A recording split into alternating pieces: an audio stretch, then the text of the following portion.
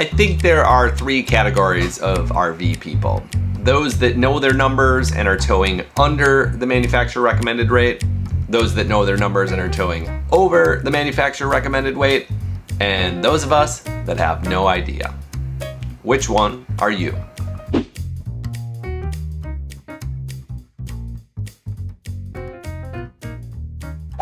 So today we're gonna go over how to weigh your truck and RV, what the numbers mean, why you might not be able to tow as much with your three quarter ton or even your one ton truck, why we really didn't notice that there might even be a problem, and some real world numbers that are very eye opening. So these types of videos can be somewhat overwhelming with all of the information, but I'm gonna keep it as concise as possible, and it really is important information to know about RVing. Something we haven't done yet is weigh the new fifth wheel and our truck. Chris is just setting up the app right now, finishing it, and that way we don't have to go inside and it's really quick and easy to just roll up and use your app to to weigh on these things. We're in truck stops all the time getting fuel, so we go past these all the time and we're in a hurry and we just forget to just do it. No, see, it's really cool because it recognizes where you Where are. you're at. If it's not correct, enter in to search for it. But it is correct, so I'm going to confirm it. There it is.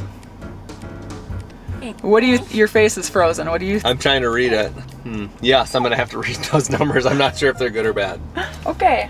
So this might seem scary at first to the average RVer, but weighing your rig at a truck stop on a cat scale is really easy. You don't have to use the app, but it's a lot faster if you do. This saves you the hassle of running inside to talk with the cashier and using the horrible intercom. The app is called Weigh My Truck, it's free, and it looks like this. So first pull onto the scales and make sure each one of your axles are in their own cement pad in between the yellow lines. These are separate scales and that's how you get the individual axle weights. Once you're on the scales, follow the directions in the app or press the intercom button to start. You'll then get numbers that look something like this, but to get all of your numbers, you do have to drop your trailer and go back through the scales one more time with just your truck. We'll go over all these numbers in just a minute. So first, let's define some of these numbers so we know what we're talking about. So the gross vehicle weight rating of a vehicle is set by the manufacturer and is the maximum allowable weight for a fully loaded vehicle. That includes the vehicle and everything you put in it. People, pets, gear, accessories, and the hitch weight from anything that you're towing. So this applies to your truck, and it also applies to motorhomes. So your Class B, your Class C, your Class A, they all have gross vehicle weight ratings. Now there is usually a sticker on the driver side door or door jamb somewhere that will show you exactly what the gross vehicle weight rating is for your vehicle. And even way back in our van days, we chose a Sprinter over a ProMaster because the one ton Sprinter had an 11,000 pound gross vehicle weight rating while the ProMaster had like a 9,300. And basically that means you can put more stuff into the Sprinter than the ProMaster. Now a trailer is going to have a gross vehicle weight rating as well and again that is the maximum allowable weight as it's fully loaded. So that includes the weight of the trailer itself, along with anything you put inside of it, any options from the manufacturer, and anything liquid in your tanks like your freshwater tank or gray and black. So your complete overall number, gross vehicle weight rating. So let's go back and look at our example and the first weighing with the truck and the RV. The first two numbers, the steer axle and drive axle, are referring to the truck. The steer axle is your front axle and the drive axle is your rear axle. And because we have our RV attached to the truck, these numbers are including the hitch weight from the RV onto our truck. So now that we know a gross vehicle weight rating is the maximum allowable weight on our truck, if we add these two axle numbers together, we have the total weight and we can then compare that to our truck's gross vehicle weight rating number. Now to make things even more confusing with your gross vehicle weight rating on your truck or your trailer, is that there are individual safety limits on components within that number. So this is like your maximum tire rating, your maximum spring rating, or your gross axle weight rating. So each axle has a limit that it can have put on it. So you got to kind of think as your gross vehicle weight rating is the all-encompassing number, but you can't put all that weight on one individual spot.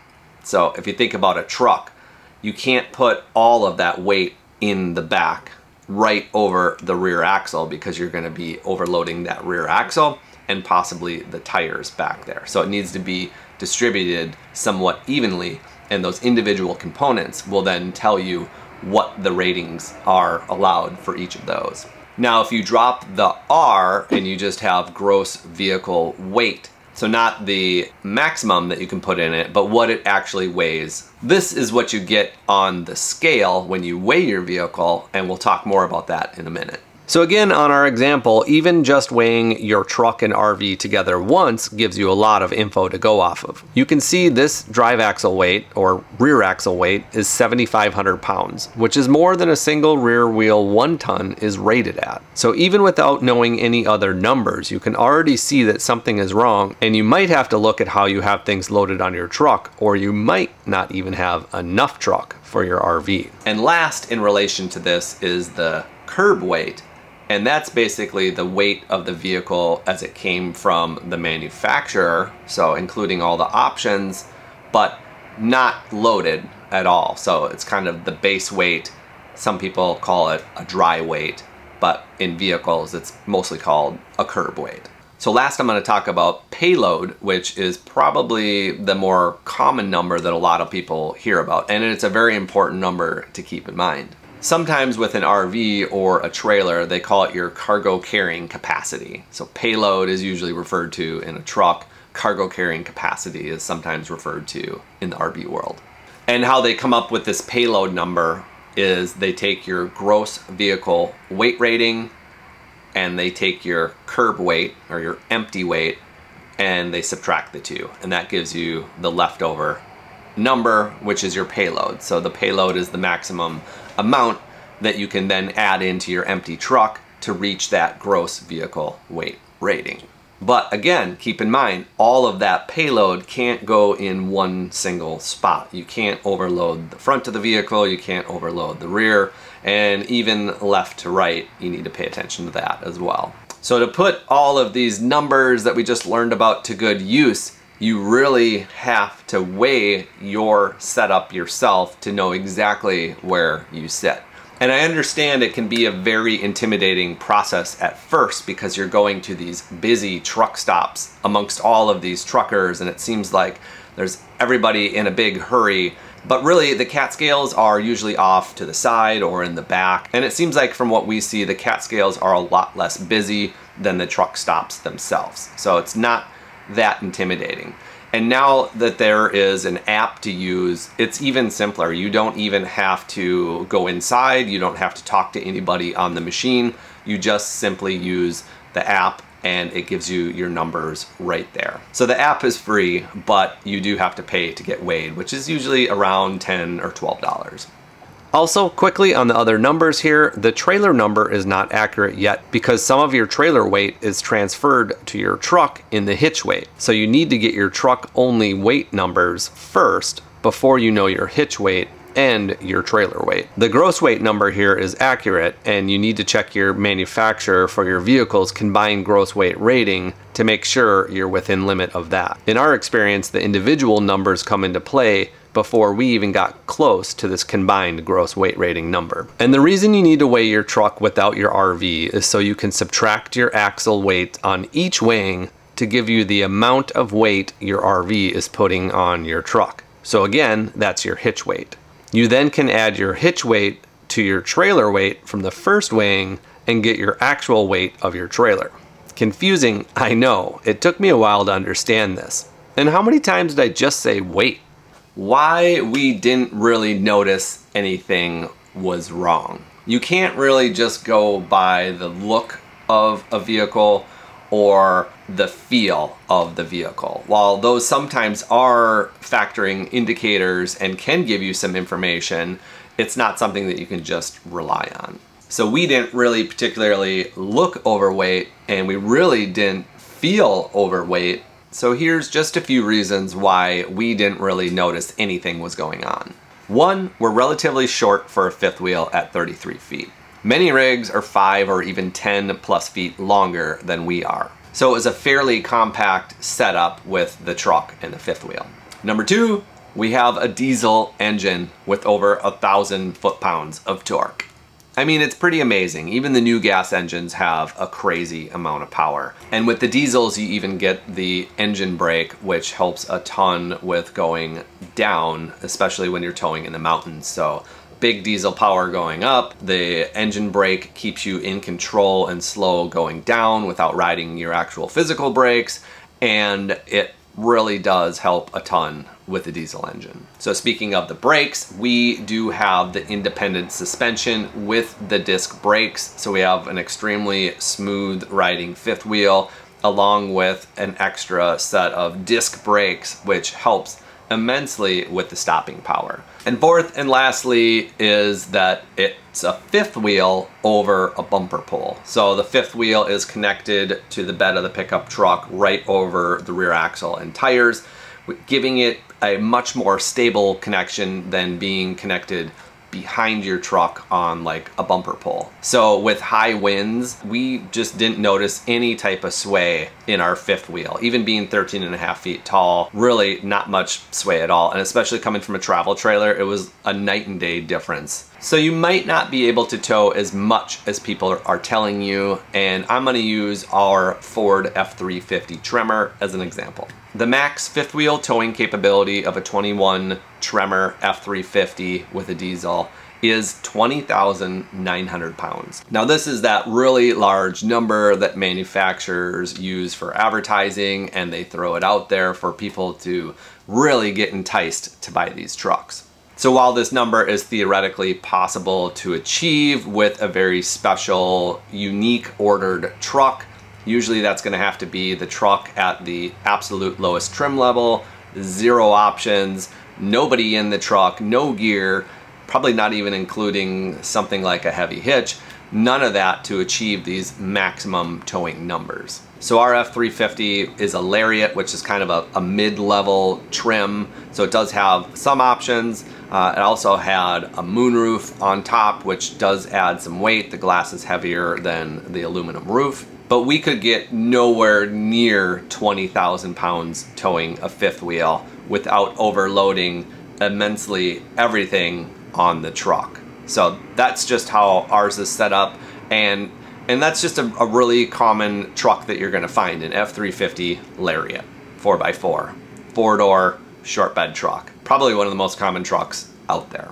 So let's look more at these real world numbers on the Ford F350 Super Duty single rear wheel Tremor with the diesel. And to do this, we're gonna look at the sticker on the driver's side door. All manufacturers have a very similar sticker to this. And you can see right here, the sticker gives you the gross vehicle weight rating on the truck at 11,500 pounds. So again, that's the max the truck can weigh with everything in it, including the hitch weight from something that you're towing. Now also on this sticker, you're gonna see the axle weights. And really not enough people are talking about the axle weights. And I think really that might be one of the first things that can get overloaded, especially when you're talking about a fifth wheel. I know when I was shopping around looking for trucks earlier, payload, payload, payload was the biggest number that everybody was talking about. But I had no idea what the gross front axle and rear axle. I had no idea what those limits were when, when we were shopping. It was all about payload. And the front axles rarely get overloaded in a truck because there's no storage or cargo up there. Not much goes up there unless you're putting on like a front hitch or something like that. The rear axle is really the one you want to focus on because that is going to be where all of the weight is going to go if you have a truck camper or if you're hauling stuff in the back of your truck or the hitch weight from what you're towing.